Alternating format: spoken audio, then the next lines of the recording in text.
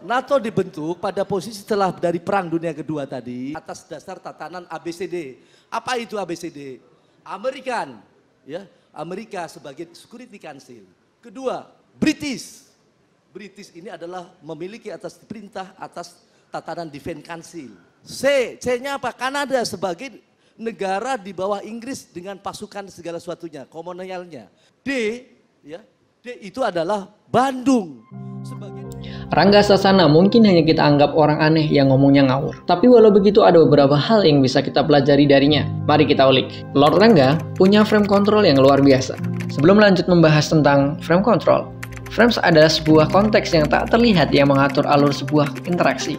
Kita bisa mengartikan interaksi adalah sebuah pertukaran frames antara dua orang atau lebih, biasanya orang yang lebih kuat atau lebih percaya diri yang akan mendominasi sebuah percakapan. Sebagai contoh, kita bakal lebih semangat menjawab pertanyaan coba ceritakan tentang diri Anda ketika dalam sesi wawancara daripada interaksi sosial biasa. Karena dalam sesi wawancara, si wawancara memiliki power daripada orang dalam interaksi sosial biasa. Hal ini disebut dengan akuise, yang berarti menerima sesuatu tanpa bantahan. Siapa pun yang bisa mengontrol framenya, dialah yang mengendalikan sebuah percakapan. Coba kita analisa percakapan Rangga dalam podcast Deddy Corbuzier. Tapi eh, boleh nggak Om Deddy nanya-nanya? sama- Boleh, boleh, boleh, boleh, boleh. Boleh. Yang aku mau tanya nih sekarang Lord eh, teori-teori yang mengatakan bahwa nanti kita akan diserang oleh monster, kita Ya, akan diserang salah oleh satu makhluk sebutannya alien. Titan. Titan sih. Tidak Titan. usah risaukan itu semuanya. Nah, kalau ben- kalau datang gimana? Iya. Apakah Lord Di Makhluk- dunia makhluk ini Titan kan itu. ada yang namanya Titan. eh, ada dua ya. Mm, Satu sistem di PBB itu ada dua. mm, mm. Dalam artian ada defense council, ada security Hmm. council. Di sini Coki memulai percakapan dengan mencoba berbicara tentang monster Titan. Bagi yang tidak tahu Titan, yang dimaksud di sini adalah Titan yang dalam film anime Jepang Attack on Titan. Ini bisa menjadi sebuah jebakan karena jika Rangga menanggapi hal ini, maka dia akan masuk ke dalam jebakan Coki. Karena jelas-jelas Titan itu kita semua tahu adalah sebuah anime. Hal ini disebut Strawman fallacy, yaitu sesat pikir ketika posisi atau keyakinan seseorang sengaja disalahartikan agar memudahkan untuk diserang. Yuk, coba kita lihat. Kalau berkaitan peperangan di tingkat tatanan di negara-negara, Mm-mm. Mm, mm. konflik dan lain-lain, makanya security council. Ya. Ah. Polisi dunia bukan jadi polisi kayak seperti kita enggak. Berarti Titan bisa dihandle oleh Lah, security. oleh bukan security council tapi adalah defense council Defense bertugas Council. untuk mengamankan atas bumi. Iya, iya. Nggak usah risau. Menurut kami di sini Rangga melakukan pilihan yang baik. Dia tidak mengabaikan pertanyaan itu, tapi juga tidak masuk dalam jebakan untuk membicarakan tentang titan-titan itu. Rangga masih stay dalam frame dia, menjawab dengan cara menjelaskan tentang hal yang berhubungan dengan pertanyaan Coki. Di sini dia menjawab dengan menjelaskan masalah keamanan dengan sangat baik daripada dia menjawab pertanyaan bagaimana mengatasi titan yang sekali lagi itu adalah anime Jepang atau kartun. Bentuk dibuat fiksikan. Iya, tapi maksudnya gini, loh, Hmm, masyarakatnya hmm. udah mulai takut. Mereka berdua Hmm, aja udah ketakutan gitu Iya. dengan adanya sosok eh, Titan Titan. ini. Ya, di sini Dedi mencoba menggiring lagi Rangga dengan pertanyaan tentang Titan. Ini kan udah kebukti nih. Apalagi Eh, sekarang kan kita lagi eh, eh, ekonomi lagi Iya, gonjang-ganjing, betul, Covid, betul. kita lagi panik. Tapi Melawan kalau menurut kan kemarin di Benteng Victoria, Iya. eh, benteng jebol ya jebol kan, ya. Iya.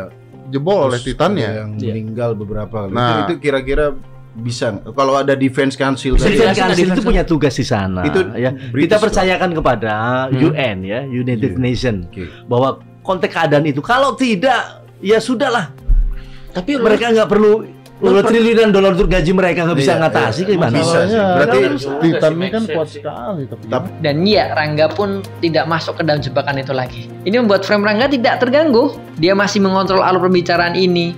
Hal ini terjadi beberapa kali dalam podcast ini. Ketika Dedi ngomongin tentang Naruto, Tretan menanggapi dengan Piccolo yang merupakan karakter-karakter anime Jepang. Oh, kalau kayak di Jepang gitu kayak Naruto gitu. Jadi ah, nah ini suka bercanda iya, ini. nggak apa-apa. Hmm, Itu Masa adalah gambaran yang bisa kita di Jepang tuh Piccolo. Ini bagian ini. Piccolo. Oh, Piccolo, Presiden. Jepang Piccolo. ada ada mandatnya. Piccolo ada mandatnya. Jepang setelah dulu Oh, bukan Jepang namanya, Bukan Nippon. Jepang, Nippon. Di momen ini, Tretan menyangka kalau Rangga menyebut Piccolo itu ada. Bisa dilihat dari wajahnya yang berkerut, namun Rangga tidak segampang itu masuk dalam jebakannya lagi. Lagi-lagi, dia berhasil menepis dengan baik.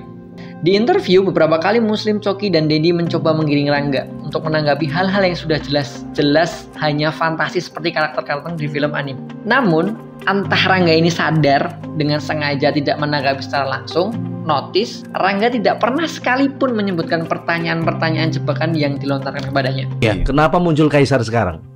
Siapa yang kaisarnya? Siapa tuh? Hmm, siapa? Siapa Cok? Takeshi.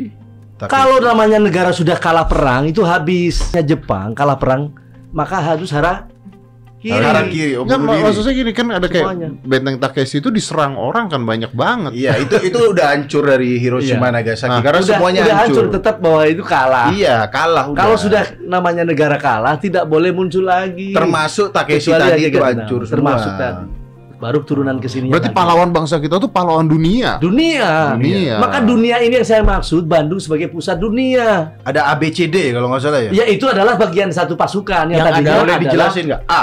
ya American, British. Nah. Kan sudah diulang-ulang. Iya, iya. Soalnya ini penting Iya. banget ini dasar Iya. percayaan saya. Begini, statement-statement Rangga selama ini walau kita merasa itu hanya bualan, tapi jujur deh, masih ada di sisi diri kita yang bertanya, bagaimana kalau yang dia bilang itu benar? Karena statement dia itu masih dalam gray area. Kita belum bisa membuktikannya. Setiap kali dia ditanya apakah klaim-klaim yang dia berikan itu benar, dia selalu bisa menjawab dengan cara membuat tanggung jawab pembuktian itu ke orang lain. Itu adalah yang disebut dengan burden of proof fallacy. Fallacy atau sesat pikir yang mengklaim sesuatu yang membutuhkan pembuktian gagal untuk memberikan bukti yang cukup, tetapi lalu menuntut pihak lain untuk memberikan bukti sebaliknya dari hal yang mereka klaim.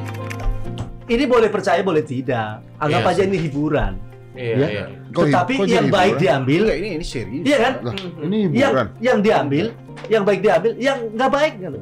Suka nggak suka kehidupan di dunia harus ada aturan. Walaupun state-nya sering kali jadi bahan candaan, dia tidak pernah menunjukkan rasa tersinggung.